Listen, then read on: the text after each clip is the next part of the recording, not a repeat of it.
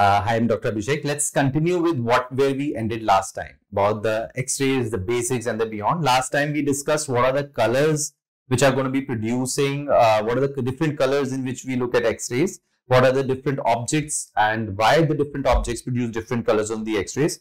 Now, today we are going to be discussing about a very important thing that are called the X-ray views. Now, what is a view? View refers to the relative position of the patient with that of the X-ray.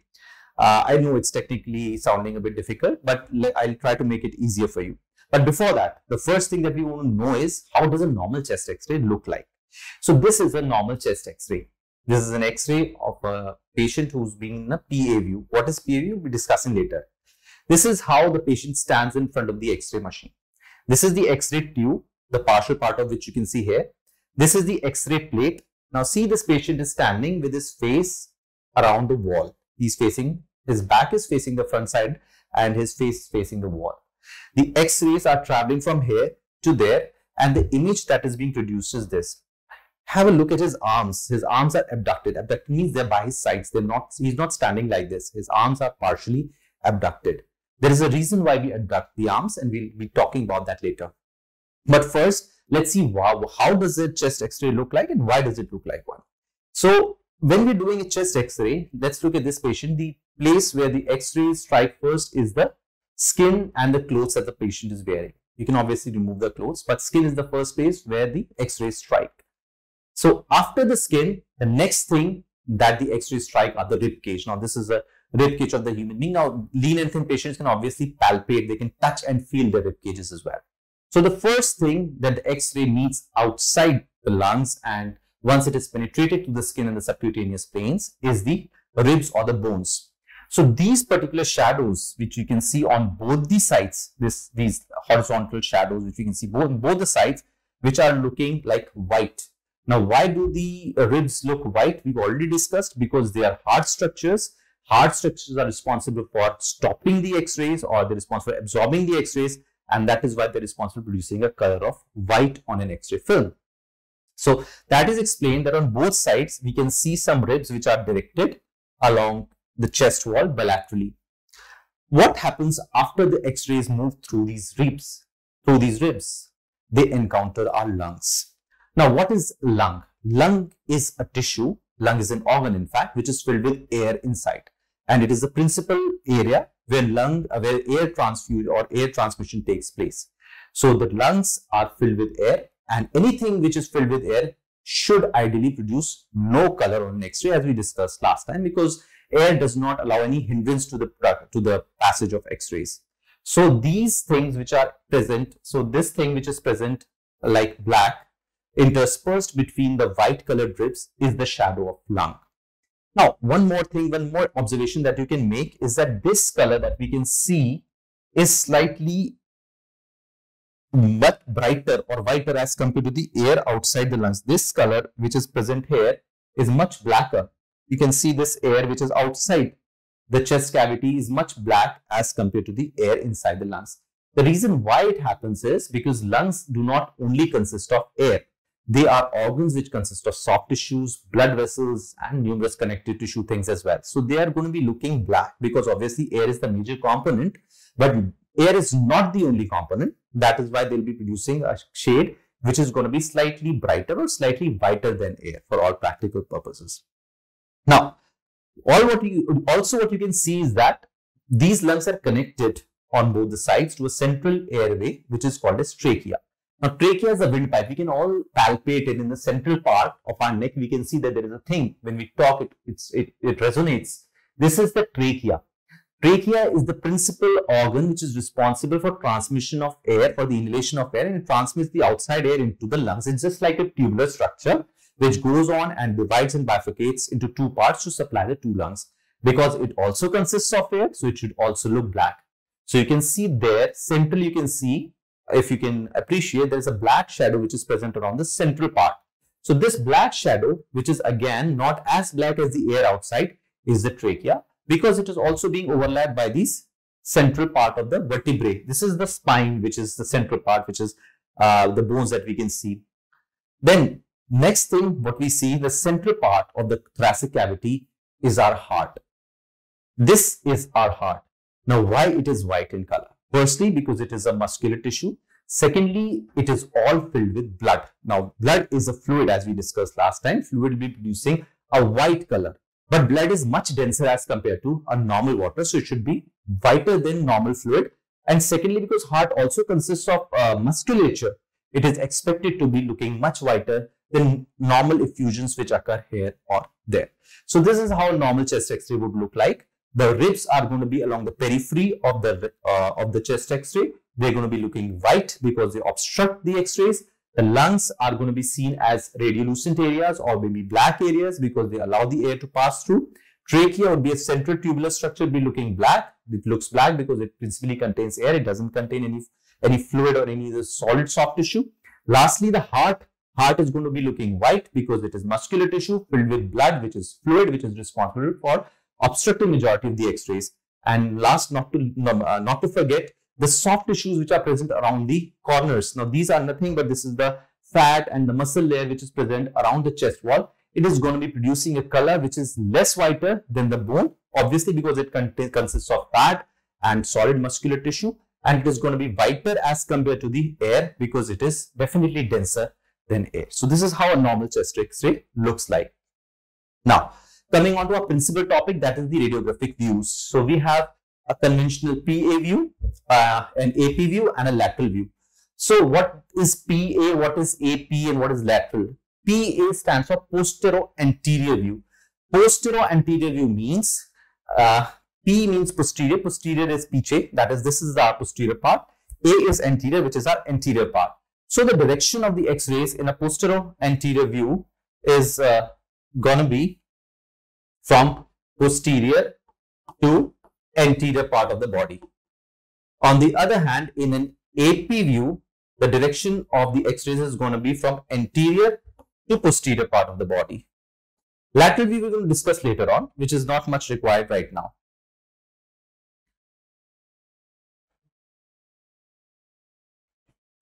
So, before we go ahead and discuss about the A, uh, AP and the PA views, the first question that uh, that comes into our mind is we've discussed the patient should be placed somewhere between the X-ray tube and the X-ray plate. But where should the patient position be actually actually be? Should he be placed close to the X-ray tube or should he be placed somewhere in the midst of the X-ray tube and the X-ray plate or should he be placed at the far end just close to the X-ray plate? So now let's try to understand that with a simple experiment. Now this is a three-dimensional view of a football. Now, footballs can be considered similar to uh, the X-ray particles or X-ray the X-rays that pass through the X-ray tube. Let us assume that this is the area where the X-rays are being generated. That is, this is the X-ray tube. And on the far side of the corner, as we can see here, the plate is going to be placed where the X-ray images have to be made. Now, if we place the main object or the main obstruction here and we play the foot and there are all footballs lying there, then majority of the footballs that are going to be hit are going to be deflected here or there and there will be very few footballs which have a, which might have a chance to reach along the far side of the corner. Similar is the case with the X-rays. Majority of the X-rays are going to be deflected here itself then very few will reach there and the image will be produced will be suboptimal. There will be no sharp image will be produced because the amount of the X-rays will be very less. Secondly, most of the X-rays would have died out. They, that means they would have lost their energy. Considering the second example, now consider if this particular object, that is the human being obviously in this particular case, is placed here somewhere. What happens is the footballs are going to strike with full vigor and they would have a better chance of reaching the far end of the corner. That is the goal in this particular case or the X-ray plate. So this experiment shows that we should place the object which has to be imaged as close to the X-ray tube, sorry, X-ray plate where the final image has to be made. Now, making it uh, easy uh, to, uh, to make it far easier, I have another experiment. We'll, let's we'll, but for that we'll have to go to the dark room once again. Now let's see what happens. This is my hand, and there is a light source which is placed anterior to my hand, and this ball is actually acting as the X-ray plate. This light source will act as the X-ray tube. It can be considered analogous because X-rays and light rays behave the same as we discussed previously. Now I am bringing my hand close to the X-ray tube or the light source, we see the image is looking far blurred and it is much magnified on the wall. Now, when I bring it back, now you can see when the distance between the image between my hand and the wall decreases, that is the X-ray plate decreases and my hand is placed far off from the X-ray tube source or the light source, the images of my hand which are being obtained, that is the shadows of my hands are far clearer, they look much better and then they're not even magnified. So this example, again, see, this is the difference that you can see. In this particular case, the images, the shadow this is obtained is much sharper. On the other hand, when I'm bringing it far anterior, the, the shadow breaks and the image which is formed is much less sharper, blurred and even magnified. So it proves that whenever we are imaging an object, the object should be placed as close to the X-ray plate and as far as possible from the X-ray tube as possible. So come welcome to the light again. So continuing with the same experiment, you can see this is an object which is placed far from the uh, what you call as wall. The image is magnified, blurred.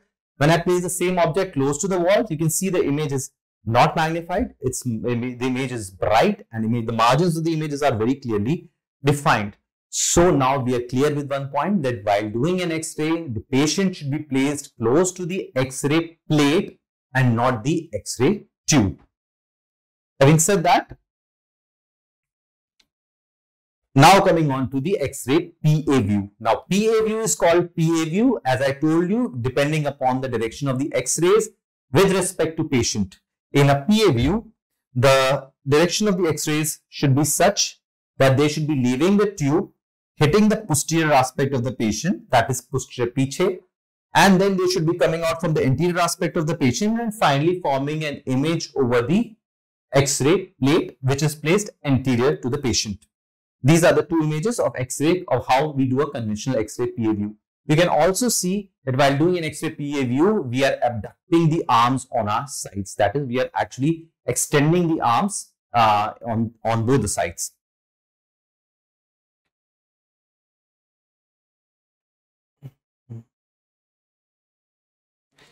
So this is a diagrammatic representation of a PA view in which the X-ray tube is generating the X-rays. The X-rays are hitting along the posterior part of the rib cage. And once they hit the posterior aspect of the rib, few of the X-rays are absorbed and they produce an image. This image is taking upon the uh, uh, taking up on the X-ray plate, which which uh, uh, which works as an acceptor of the X-ray films. Now this is on the other hand the X-ray AP view. Now you can see the difference in the AP view. AP view is usually not done. The, the only reason we do AP view in those patients who can't stand, who are uh, morbidly obese or who cannot move around or those patients who are hospitalized.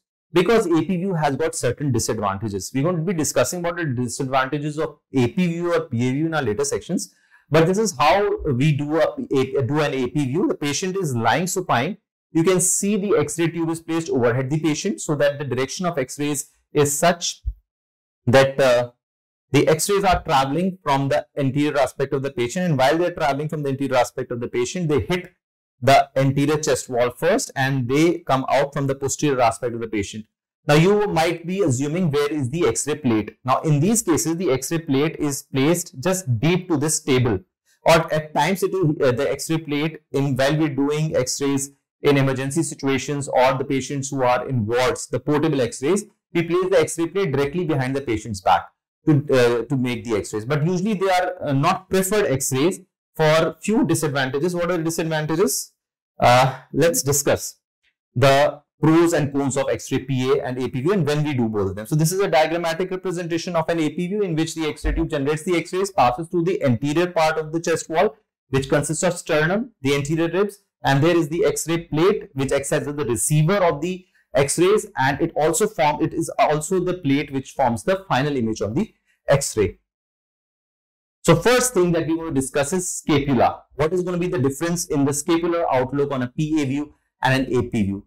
So first question is what is scapula? I think you both know this is the PA view we talked about and this is the AP view.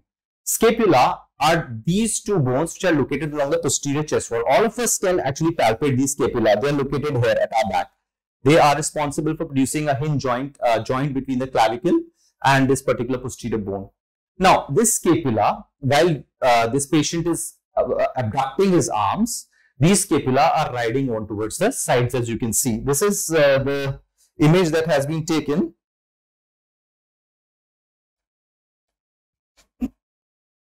This is the image that has been taken from an X-ray PA view when the patient has abducted his arms. Now, what does abduction do? Abduction causes scapula to rotate externally. That means scapular blades, usually you can palpate when a patient is lying this way, the scapula are in a horizontal position. But when we do it like this, the scapula tend to move away from the chest wall.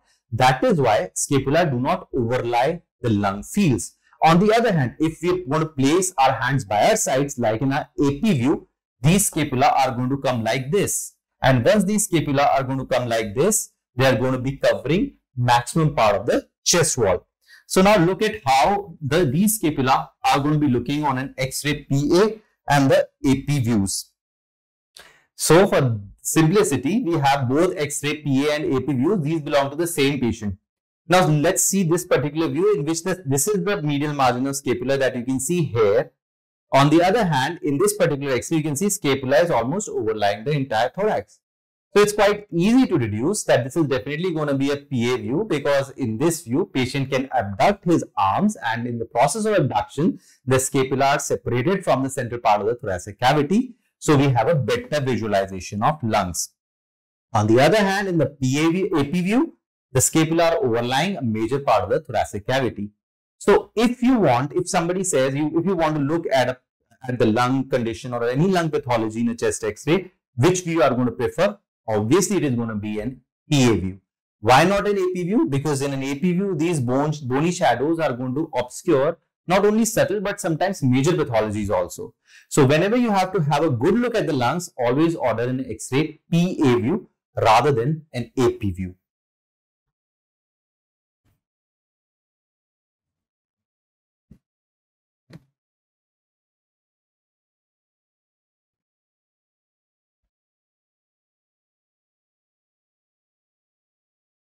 The next thing that we need to uh, look at is the heart. So there's going to be a definite difference in some properties of cardiac shadow on PA as well as AP views. Just to refresh, this is the PA view. Patient is standing with his uh, back facing the X-ray tube and his face facing the wall. On the other hand, this is the AP view in which the patient is lying down. The X-rays are first touching the patient's anterior part and coming from his posterior part. So now coming on to why X-ray, chest, AP and PA view will have different cardiac morphology and contour. First, we need to understand how does our heart lie in our thoracic cavity? How does our body work? Our heart is not located in the central part of the cavity. Our heart is located far more anteriorly. Anteriorly means aage. The, this, uh, what you call as the posterior part is being occupied majorly by the spine and the vertebral column. So when a patient is lying in two ways, in this particular case, a patient is lying with his spine anteriorly. What that means is, if we consider that this is the X-ray plate and the X-rays are coming from here. So this makes it a PA view. And on in this particular case, heart is lying far anteriorly. The X-rays are going to be coming in the same direction, but this is going to be an AP view. So let us assume the first situation. What will happen in case a PA view X-ray is made? These uh, images that are going to come, the X-rays, X-rays are going to be moving like this. Now, in this particular case, you can see from the X-ray tube, the X-ray move in a divergent direction and the final image is going to be made on an X-ray plate. Now, as I told you before also, that while producing an X-ray with my experiment of hand and torch, that the image is best produced if the object is placed as close to the X-ray plate as possible. In this particular case, the heart lies in PA view clo closest to the X-ray plate. So we can see there is going to be a bit of magnification, but the image is going to be much sharper and the size of the heart that will be predicted on an X-ray chest PA view will be almost similar to the true size of the heart. On the other hand, as we can see in this particular case, on the other hand, if you're doing an X-ray AP view where our heart is lying anteriorly, these rays are going to be much more divergent and as a result, the image that is going to be produced is slightly going to be larger as compared to the true size of the heart, which we also call as apparent cardiomegaly, which is a false cardio, false impression of cardiomegaly. Secondly, as the same experiment that we did with our hand, the images of the hand or the, of the shadow of our hand were blurred when we were moving it away from the X-ray plate or the wall. Similarly, the edges of the heart or the cardiac shadow, margins and borders will be blurred on an X-ray AP view as compared to the X-ray PA view. So, now what we've learned from the past two slides then, I think uh, it's going to be clear that in an AP view, because the heart is far away from the X-ray tube, the image that is going to be produced of the heart is going to be slightly larger. That is called as apparent cardiomegaly. The margins of the heart will not be as sharp as compared to an to a PA view. Now, why this happens? Because in a PA view, the heart is physiologically placed closer to the X-ray plate and far from the X-ray tube. So, coming more, uh, coming on both the things, first thing is the scapula. So, in case you have got to have a better look at the lung fields, we should have a PA view because the scapula obviously go away from the lung fields as well as for the true estimation of the cardiac size, for looking at the cardiac margins, for looking at the cardiac pathology, PA view is far superior as compared to the AP view.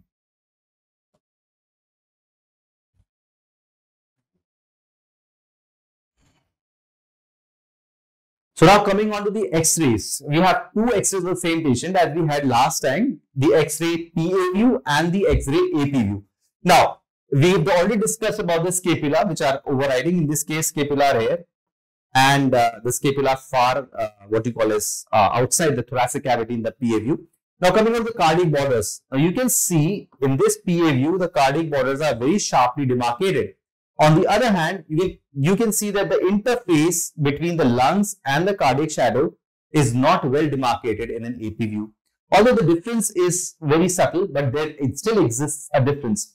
Second important thing, look at the cardiac size. In this PA view, the cardiac size is slightly lesser as compared to this AP view in which the cardiac size appears slightly larger. Although there's not going to be a lot of difference in the cardiac size, but there's going to be a subtle difference and this is going to make a huge difference when we will discuss about the cardiothoracic ratio. Cardiothoracic ratio refers to, uh, it's an objective parameter for cardiomegaly, which we will be discussing later on. So the two things that we've learned about is if we want to look at the lungs, the lung parenchyma is look, uh, much better appreciated on PA view. The cardiac size is better evaluated on PA view. Cardiac margins are sharper and much better evaluated on PA view. And in all those three parameters, AP view somehow doesn't suffice as compared to the PA view. So AP views has its own uh, limitations, but it is usually done in those patients in which a PA view is not possible, like those patients who can't stand who are hospitalized, who can't move away, patients who have fractures of lower limbs, severe backache, or those who are having some other morbid conditions.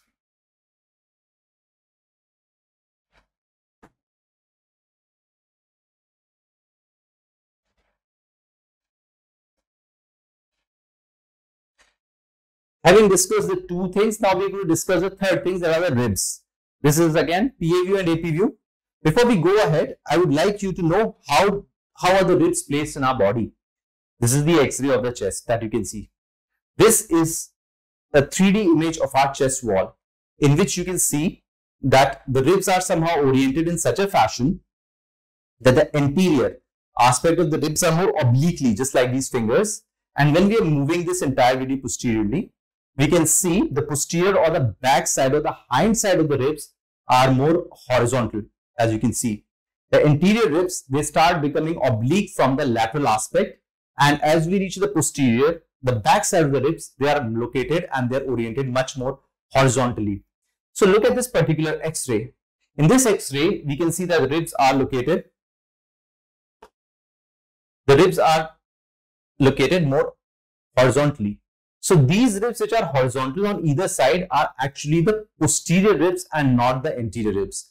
When I was a resident, I always used to think that these are ribs which are most prominent, so they must be the anterior ribs. But no, these horizontal ribs are the posterior ribs. And if you can continue with this, if you can eh, draw the ribs along the entire continuity, you can see that these ribs arch in an oblique fashion and they further become come anteriorly on both sides. So this this and this part of the ribs which is more oblique and it is not well appreciated on this particular x-ray is the anterior aspect of the ribs. Now why I'm telling you this? I'm telling you this because in x-ray PA as well as AP view, the first part of the x-ray to hit the body as far as ribs are concerned in AP view is the anterior ribs and in PA view is the posterior ribs. So the part of the body which will get the X-ray first will produce a better or sharper image as compared to the part which receives the X-rays last.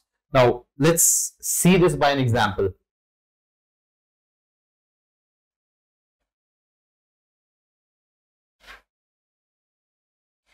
So this is another uh, another view in which I am showing the posterior ribs which are more horizontally inclined as compared to the anterior ribs which are, these are the anterior ribs, which are more obliquely inclined. So coming back to the x-rays again, this is the PA view and uh, this is the PA view and this happens to be the AP view as we discussed before.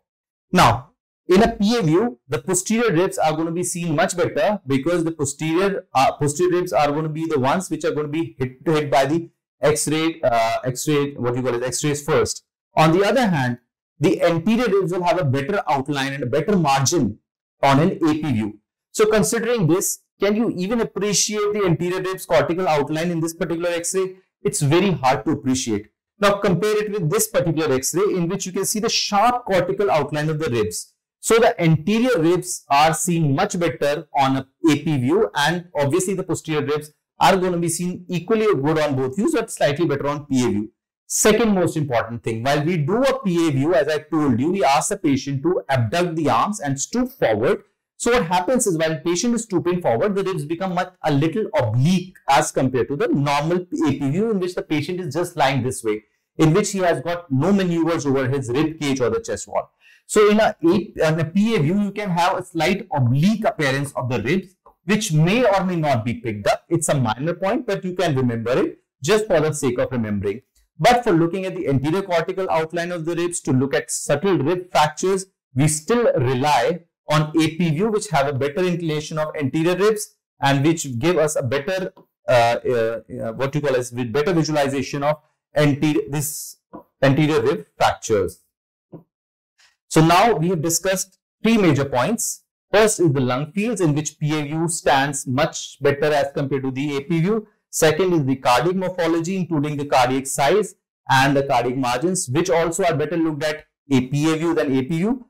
Third thing we, we've discussed about is the ribs. Ribs, uh, both the things have their importance. The AP view looks better at the anterior aspect of the ribs along with small subtle fractures. PA view gives a gross morphology of the posterior ribs and the ribs are slightly more obliquely seen on a PA view as compared to the AP view. Now, last and uh, the most important, not the most important, the least important point is the clavicle. Now, as we see, this is a PA view in which the patient is abducting. Everything comes on abduction. When we are abducting the arm, see what happens. Everybody of us can palpate his clavicle. Clavicle is a bone which is at the collarbone, which we can see which comes from here, goes obliquely upside, and it attaches to the scapula. This is the uh, this is the clavicle that we are talking about which is attaching to the scapula. What happens during the physiology of abduction? When we abduct, this shoulder blades move up, but at the same time, our clavicle moves down. Secondly, while we do a PA view, we ask the patient to stoop forward. What will it do? If the lateral end of the clavicle comes down and we stoop forward, the clavicle will become more horizontal. As you can see in this particular PA view, the clavicle appears more horizontal. And on this AP view, because the patient is lying, and he cannot stoop forward and he, he is lying in a neutral position. So in this neutral position, this clavicles will obviously have a sharp angulation as compared to this one in which they're going to be more horizontal. So if uh, if the clavicles are having an oblique angulation, it is more likely to be in an AP view because in a neutral position, clavicles are much higher while in stooping forward posture as well as in a PA view when we are abducting our arms, the lateral, that is the side ends of the clavicle, they come downwards. As a result, they have more have a more horizontal appearance or a horizontal inclination on a on a PA view. So finally discussing clavicles will be more horizontal on a PA view, uh, horizontal on a PA view, while they are going to be more obliquely directed on a AP view. So now we've discussed the major points as far as the PA views and the AP views of the chest are concerned. Finally, summarizing them and weighing the pro and cons, uh, if we're going to consider the PA and the AP views, so ribs are going to be oblique as I said, AP to be more horizontal, but anterior cortical outline will look better on AP. For small fractures, you can look, you can rely on AP view. Coming on the scapulae, as I told you, they, they overlie the thorax when doing a AP view because patient is lying supine. He doesn't have the opportunity to move the abduct his arm so that the scapula can be moved along the lateral aspect. On a PA view, the patient uh, on a PA view, they will not overlie the thorax because the patient is abducting his or her arms. Third thing, heart size. Heart size will be invariably apparent cardiomegaly on an AP view. We discussed it why and how. The cardiac morphology is going to be better, be going to be better picked on a PA view. And last, the clavicles, they're going to be more horizontally oriented on a PA view and they're going to be more obliquely oriented on an AP view. So with this, we come to the end of this particular video section, which was based upon the different views, the AP views and the PA views, with the difference. We have, we are left with the lateral decubitus views and the lateral views, which we'll be discussing the second part, the next part of the section. We'll be also discussing the next part about the airways, the lungs, and some basic common pathologies. Thanks for watching.